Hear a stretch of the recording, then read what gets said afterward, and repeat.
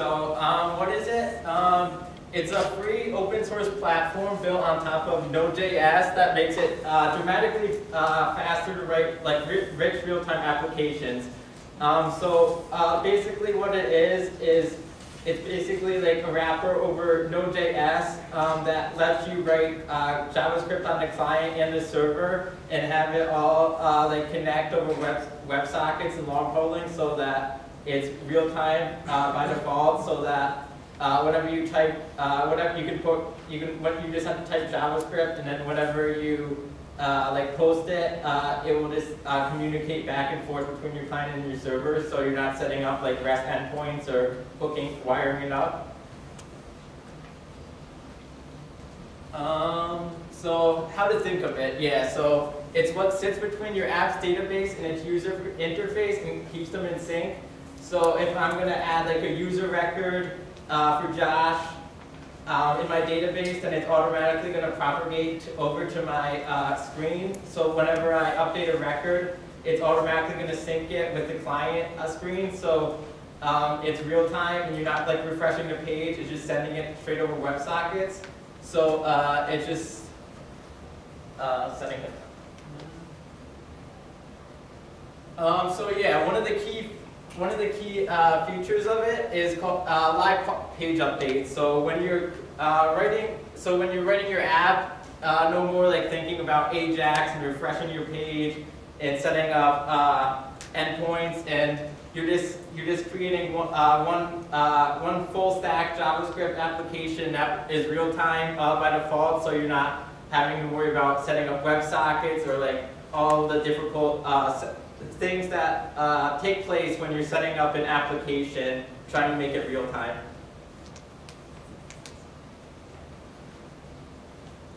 Um, so how does this happen? How does it, how does it do this?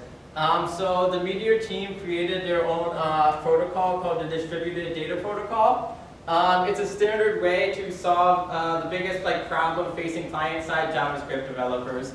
So how, how am I going to uh, call, how am I going to ask for a record, how am I going to ask for a user record and, uh, set, and send it down to the, uh, and send it down to me uh, without having to go and set up all my server-side code. Um, so if, I, if I'm just a client-side developer, I probably just like, uh, a lot of, they just know like JavaScript or they're not really familiar with server-side.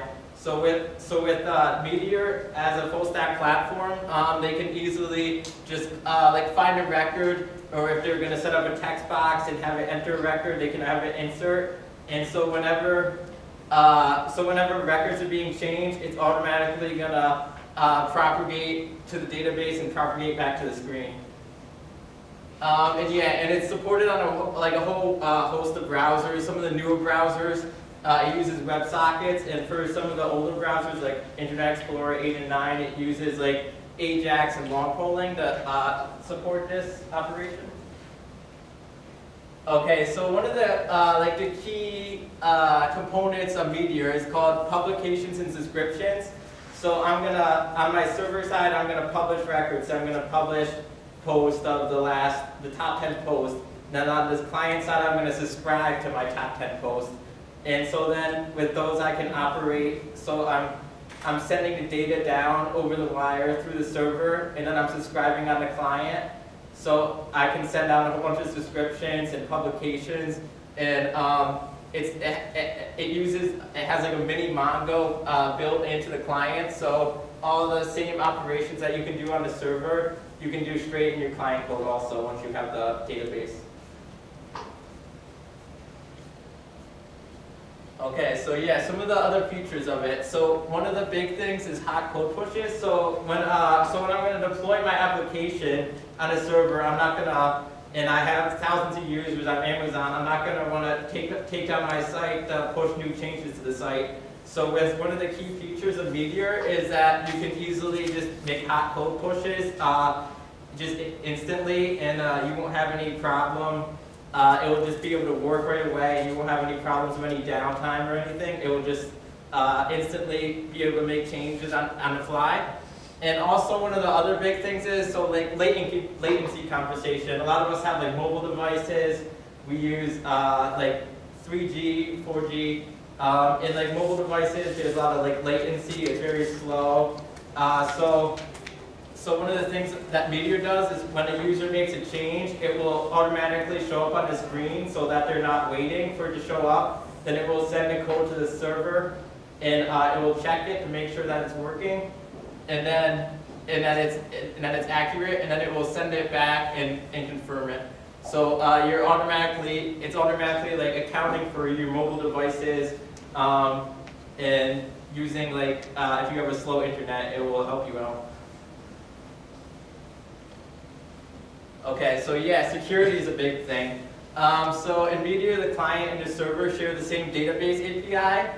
Um, code running on the server has direct access to the database and code running on the client does not have access to it.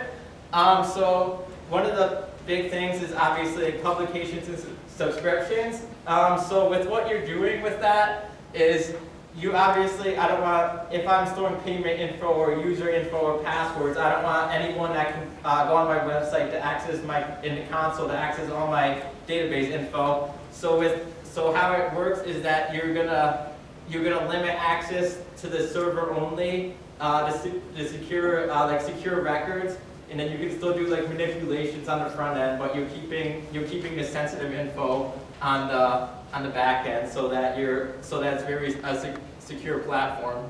And there's also like auto publish and insecure packages, um, which help uh, like you have it lets you limit access to user like user IDs only or certain people um, so that only certain people can manipulate your documents. Um, so yeah, databases. So Meteor currently it has a MongoDB uh, built straight into the framework. So whenever you're just going to install it and run your application, it will automatically just have MongoDB. Uh, you just start your application, MongoDB will be there already wired up and ready to go. Um, so uh, it only currently supports Mongo, but there's uh, like future support coming for SQL and Redis and other uh, databases. Um, so yeah, smart packages. So there's obviously a lot of uh, different packages that uh, JavaScript developers and web developers use, uh, jQuery, Bootstrap, CoffeeScript. Uh, so with those, um, it's there's a package manager built straight into Meteor, so all you just have to do is type Meteor add, and you can add any of your favorite packages. Um, so uh, it, you don't have to worry about finding different script tags and Googling around for different, uh, downloading different files. It's all built straight into the framework. So you're having uh, package manager, powerful like package manager built straight into your framework. If you're familiar with like Python and pip or Linux and sudo apt-get and stuff.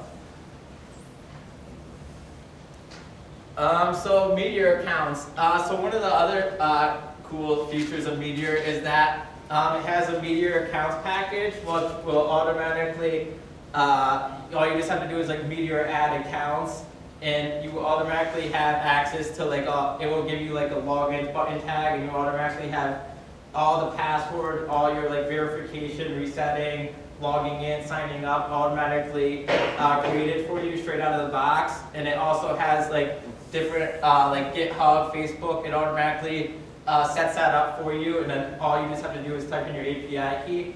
So you're, you're like, uh, so when you're just starting out your application, you, you're saving a lot of time by not having the, the login functionality is already built in. So you're saving like a lot of time not having to hook it all together. Okay, and so Atmosphere, um, this is a community package manager. Um, and there's like thousands of packages on it, and it will be like merged into the core uh, eventually. So uh, with that, there's uh, just like any like host of community packages, some of the like foundation TypeScript, uh, there's different routers, AngularJS, a whole bunch of different uh, libraries and packages, um, basically that anything you can cover. Um, so with that, and you also can use, like, if you're familiar with Node.js, there's NPM, which is a package manager. Um, and you can automatically use any NPM package also with your Meteor app. So you have access to like tens of thousands of packages to use with your application. Okay, so um, testing. So with testing, uh, there's two different like testing frameworks for Meteor. Um, one is called Laika, and there's another RTD, which runs your test. So if you're uh, wondering how you're going to test your application, if you're going to be able to run unit tests or acceptance testing, with this you can uh, use this to help uh, run tests on your application.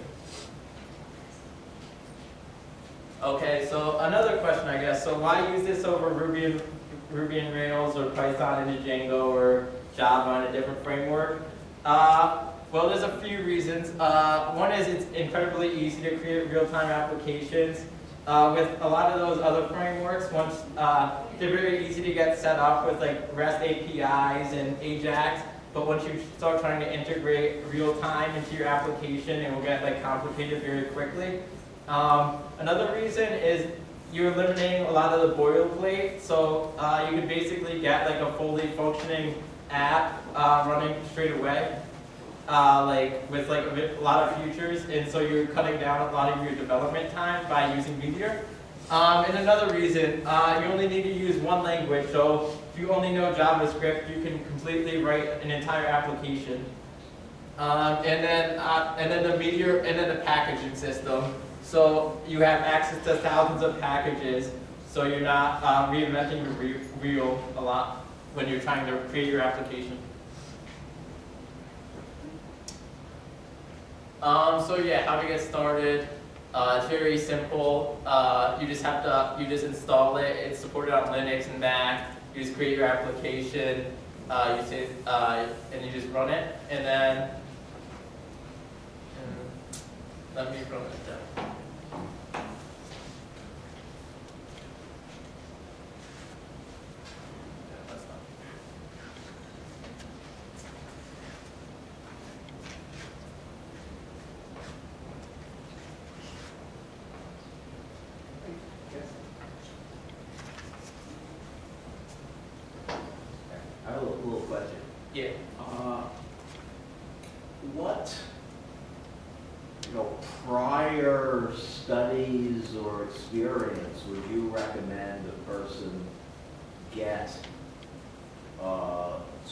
become able to uh, to use to use this to use Meteor uh, to, uh, to to create an application. Oh yeah. So what would I recommend? Um, like if you know like uh, since it's built on JavaScript, you would want to like obviously like have to know JavaScript, be able to like fully utilize it. Um, it's very similar to some of the other programming languages, and then. Uh, and then it also uses like MongoDB, and it has a wrapper resources, different blog posts. I can uh, give you like a link to a whole bunch of different, there's some books written about it. There's a whole bunch of different uh, tutorials that show you how to go through applications and get started and uh, go through various, just various applications uh, that will help you fully, fully, fully utilize the framework at its best.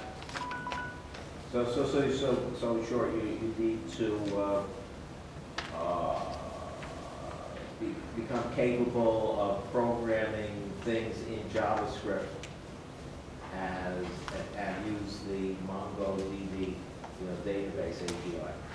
Yeah. yeah. And so, so say someone someone asked someone asked that you know the, the, the, they they've never used they've never studied Java or JavaScript or Python or some language. What uh, how do you get started? Say you want to make an app where you start? Yeah, so if you wanted to get started, I would probably tell people to like maybe like use like a Codecademy like JavaScript course or something. It's like recommended that you would use that first. Then there's a lot of like tutorials and books and that help you really uh, like basically go through uh, basically creating an app from the beginning to an end and uh, the different components of it and uh, what you need to do. Um, so uh, like I'm just going to show a quick demo I guess of how uh, I'm going to have two browsers open, and then I'm going to type a question in one, and it's going to show up in the other right away. So like, if I have, one of the like cool features of Meteor is that it's real time. So like, uh, thousands of people could be using a site and uh, like a live chat application, and it will all be uh, showing up straight away. Whenever I type something, it will automatically show up in all of their browsers. Or you could just use two different browsers.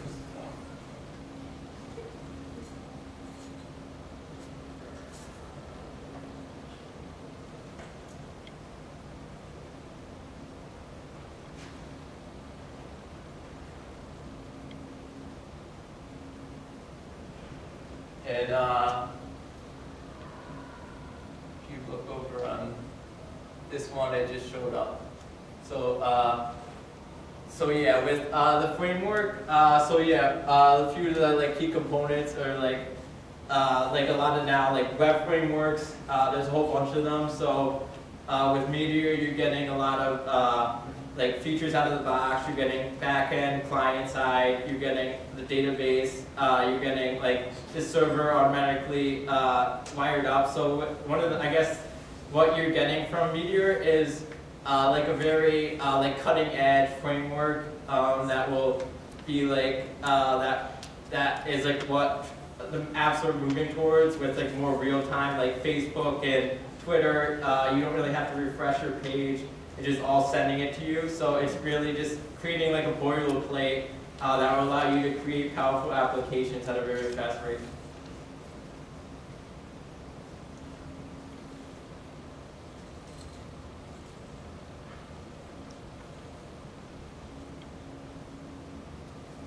And then, any other questions? Um, I do a lot of stuff with JavaScript, uh, like with runtime, like uh, just like kind of small JavaScript games and stuff. How how hard would it be to take the leap to be doing small like front end applications that just run on page load to start working on server side stuff, start to get a web web application going? Because normally it's like Ruby on Rails or Ruby on Rails, but I like the idea of having just the one language using Mongo, which also takes JavaScript style calls. Um, Yeah, yeah. So uh, it's very like easy. Like there's a lot of like there's a library, there's client, there's server. So uh, you you're allowed to use like most of your code between. You can share a lot of your code between them, and then you just have to write like minimal, usually server side, like some methods or. So uh, it, it, if you know like uh, front end JavaScript, it's very easy to transition. Okay. And it also seemed very interesting, you said that they give you leverage to take advantage of Facebook, for example, or Google's and other authenticated log logging service that are, that are already implemented, and you can simply just take those in and take advantage of the fact that they're written, I guess, bring in open source. So that completely abstracts um, for you having to do an authenticated login and having to worry about people going like into the console and looking at your source code and like seeing like all the Yeah, yeah, yeah. So it's just uh, automatically like authenticated and secured for you, and you're not worrying about setting up an API. Uh, you just have to get an API key, but that's hidden from the clients. So it's just very uh, easy and easy to get started with. Yeah, it sounds awesome. I'm just curious about the maturity of Meteor. Is, for example, we're, if, if you're coming from a more legacy uh, monolithic application fairly big to where you want to start looking into the more services oriented, you know, this, this, type of way of going of apps, real time stuff. Are, is this something we want to adopt right now and start learning, or, or is this, because we, because we were coming from like an Oracle database and stuff like that, so we could, migrate pieces of our applications to stuff like, something like this, is that, is that feasible at this point, or how, how mature is Meteor for that kind of? Okay, yeah. So it's currently at 0.8, um, and it should be at like 1.0 in like the next few months. So after that, uh, they would start like recommending making like production apps on it. Um, so I guess it, lot, it depends on like a lot of your performance and uh, like the JVM and different like Go and stuff have better like uh, server performance. So uh, like depending I guess on like your requirements of your application, a lot of it can transition over to uh, frameworks like these, and some of them uh, would have to still use uh, different frameworks that are better or languages that are better for uh, whatever application you're making.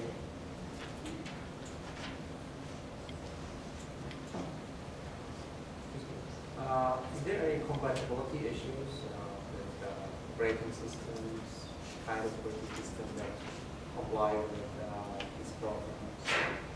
into- into the- Um, so yeah, it currently only works on uh, Macs and Linux, and there's also like a Windows version, uh, but it's like an unofficial, but it's uh, supported.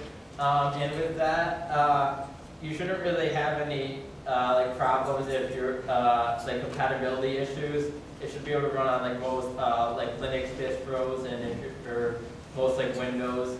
So if you're uh, you just have to like install it, and uh, it shouldn't really uh, inter- it, it installs it in like a separate folder, so it shouldn't have any interference. You can even have like a different Mongo database a local one set up, so I can have like a bunch of different Mongo databases, one that I install through Mongo and then one through my application.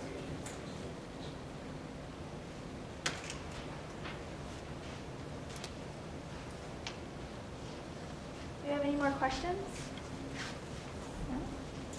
Can you give, um,